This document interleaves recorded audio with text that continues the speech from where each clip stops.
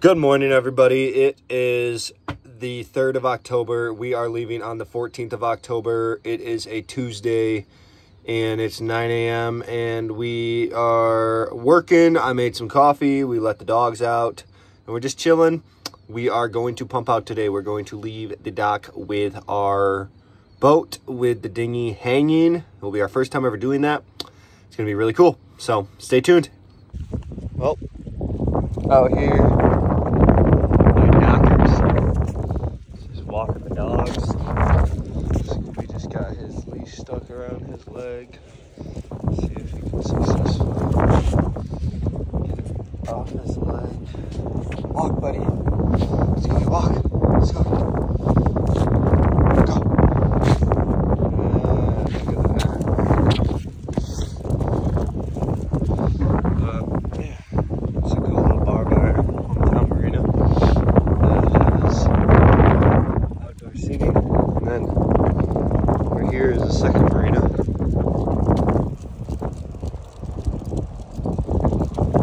Uh, it's pretty cool. It's a very, a lot smaller, but it's kind of more like secret, I guess you could say. Apparently, you can go all the way back there with your dogs, with your dinghy, and play with them back there on an island. So maybe we'll do that before we leave. I don't know. So we're at this bar downtown called Rad Dad's, and over there is an entire stadium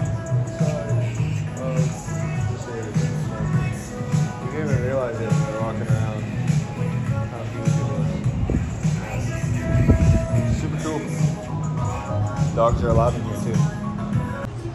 But yeah, I thought I would uh, show you guys this. We're just like, let's go to a bar.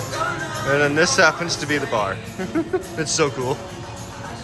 So, fun fact for any loopers that are actually watching this that aren't from where we live. This is Muskegon and downtown Muskegon actually is kind of cute. There's It's very walkable. Um, and so what you can do is you can pull into Lake Muskegon uh, and then you can just take a Uber to downtown Muskegon and it's beautiful.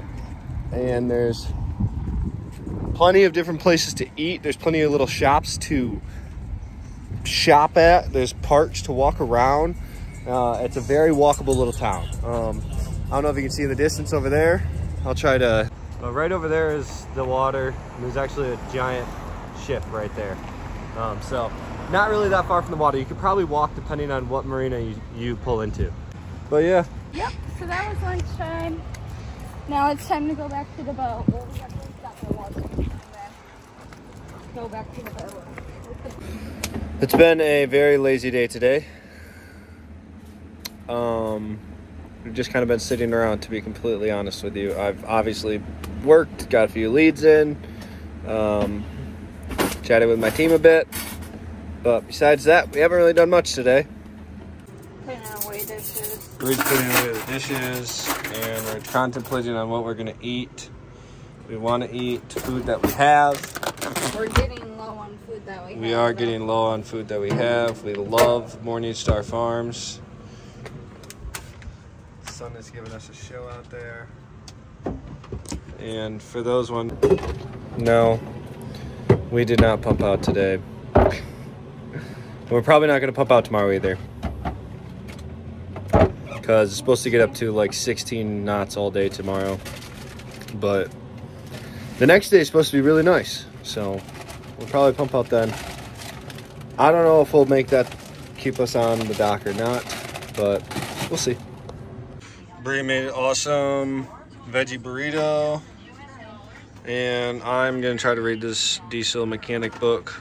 Um, and she just dumped the trash over. Evening walk for the doggos. Hey, leave it. Leave it, that's gross. Oh, sorry, stepped on your leash.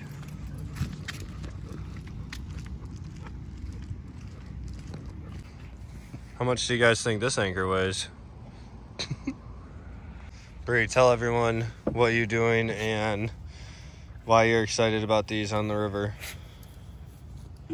I am going through one of the mini book houses. Um, this one's close to our marina um, by this cool museum. It's called freelittlelibrary.org. Yeah. Littlefreelibrary.org. Yeah. And God, Scooby, you're like breaking my hand here, dude. You're just like, hey, come here. Scooby, come here right now.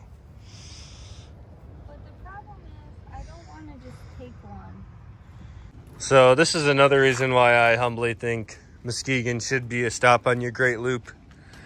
Because you can pull into Muskegon Lake, these absolutely amazing Army vessel or Navy vessels. And there's a giant museum to walk through that has a ton of information about the area. Um, you can see sailboat coming in right there. That's Lake Michigan out there. And then Lake Muskegon's in here. And yeah, I just think that it's a missed opportunity for a lot of loopers that have a lot of time on their hands to just take a quick trip into Lake Muskegon and see all of these amazing things. So that's most likely going to be it for today. We considered leaving the tonight and anchoring out tonight and then pumping out tomorrow morning. But the winds are supposed to be pretty wicked tomorrow and we're just not so sure that's the right idea. We're still new sailors, as everyone knows, and so, I mean, even 15 knots gets us a little anxious, but we know that's not a lot for regular sailors, but we're brand new. Um, so yeah, we'll probably end up just chilling for the rest of the night, watching some more TV, and uh, we'll see you tomorrow. Thanks for watching. Like and subscribe. You want to tell them to do the same? Like and subscribe. Doobie and Velma want you to like and subscribe. Please like and subscribe. That's Velma talking. Please like and subscribe. That was Scooby. That was more the Scooby voice we actually do. フフフフ。